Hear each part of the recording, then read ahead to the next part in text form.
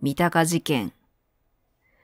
三鷹事件は1949年昭和24年7月15日に日本東京都北多摩郡三鷹町、現三鷹市と武蔵野市にまたがる日本国有鉄道中央本線三鷹駅構内で起きた無人列車暴走事件。詳しいことは不明で、同時期に起きた下山事件、松川事件と並ぶ国鉄三大ミステリー事件の一つとされる。事件の概要。事件の発生とその背景。連合国軍占領期の1949年、昭和24年7月15日、午後9時23分。当時は夏時間のため、現在の午後8時23分に、国鉄三鷹電車区、現 JR 東日本三鷹車両センターから無人の63系電車4両を含む7両編成が暴走。三鷹駅の下り1番線に進入した後、時速 60km ほどのスピードで車止めに激突し、そのまま車止めを突き破って脱線転覆した。これにより、脱線転覆しながら突っ込んだ線路脇の商店街などで、男性6名、45歳、21歳、54歳、58歳、19歳、40歳が車両の下敷きとなり即死。また負傷者も20名出る大惨事となった。当時、中国では国境内戦により中国共産党の勝利が濃厚とされ、日本の国政でも日本共産党が議席を伸ばしていた。共産党員やその支持者が多かった国鉄は、共産主義化を警戒する GHQ によってレッドパージの対象となり、複数の共産党員の国鉄職員が逮捕された。捜査、裁判。捜査当局は、共産革命を狙う政治的な共同防御による犯行だとして、国鉄労働組合、国労の組合員の日本共産党員10人と非共産党員であった元運転士の竹内圭介を逮捕した。そのうち共産党員一人についてはアリバイが成立したため、不起訴として釈放されたが、残りの共産党員9人と竹内が起訴され、さらに2人が偽証罪で起訴された後半で、竹内は幾度も発言を求め、早口で自らの主張を述べた上で、泣き叫びながら単独犯行であったことを主張した。1950年、昭和25年、東京地方裁判所、鈴木中吾裁判長は、非共産党員の竹内の単独犯行として、往来危険電車転覆致死罪、刑法127条、125条1項、126条3項、道場1項により、無期懲役の判決を下す一方、共同防御の存在を空中楼閣と否定し、他を無罪とした。一審判決で竹内が死刑ではなく、無期懲役とされたのは、解雇されたことへの反発があったこと、計画性がなかったことと、人命を奪うという結果を想定していなかったことで、上場酌量が認められることが挙げられた。竹内が犯行時間とされた時間帯に同僚と風呂に入っていたというアリバイ証言において、検察側は同僚の証言は竹内が主張する時間より遅かったとして、アリバイを崩す姿勢を見せていたが、弁護側はなぜか同僚の証言を関連性なしという理由で承認要求を拒否するなど、不可思議な行動をとっている。一審で6人を死亡させたと認定された竹内への無期懲役判決に対しては、読売新聞、毎日新聞、産経新聞などのマスコミは、被害者や遺族の意見などを紹介して批判した。朝日新聞は、竹内への無期懲役判決に肯定的見解を示していた。これに対し、検察は、全員の有罪を求めて控訴上告したが、竹内以外については無罪が確定した。竹内の控訴審で、東京高等裁判所、谷中正裁判長は、1951年、昭和26年、竹内についてのみ、検察側控訴を受け入れ、書面審理だけで一審の無期懲役判決を破棄し、より重い死刑判決を言い渡した。弁護人は無罪の主張とは別に、被告人の顔も見ぬまま死刑に変更することの非道も訴えて、最高裁判所に上告したが、最高裁では口頭弁論が開かれないまま、1955年、昭和30年6月22日に死刑判決が確定した。ところが、これが8対7の一票差であったため、物議を醸した。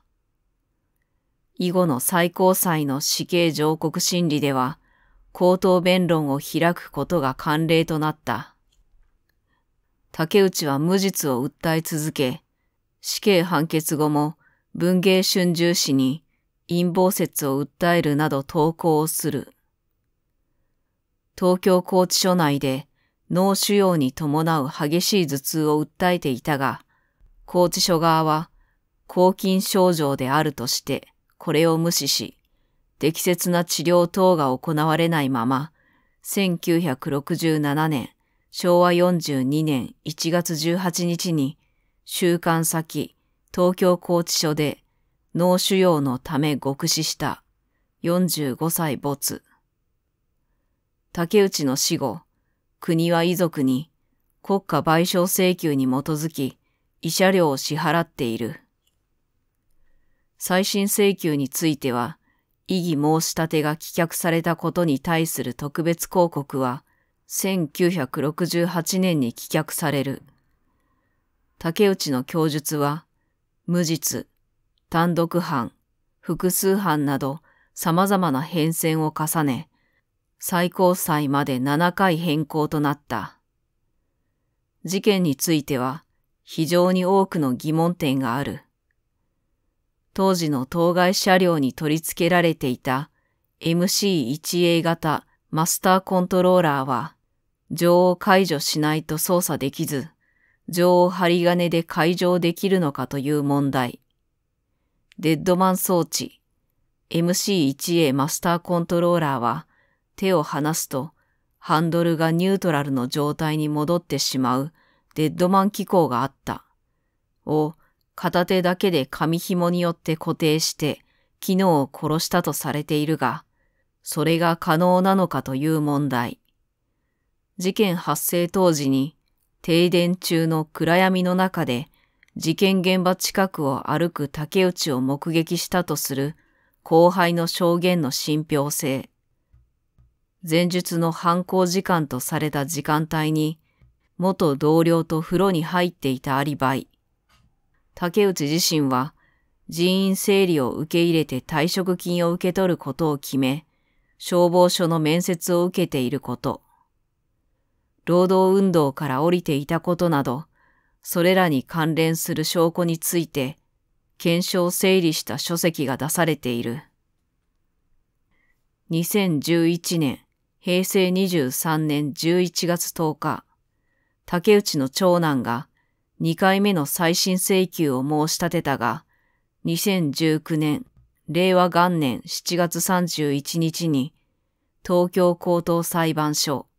後藤真理子裁判長は再審開始を認めない決定をした。